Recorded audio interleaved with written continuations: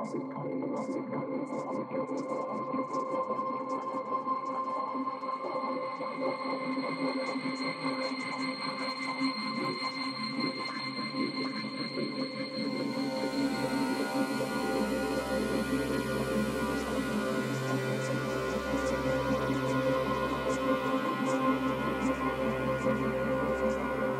the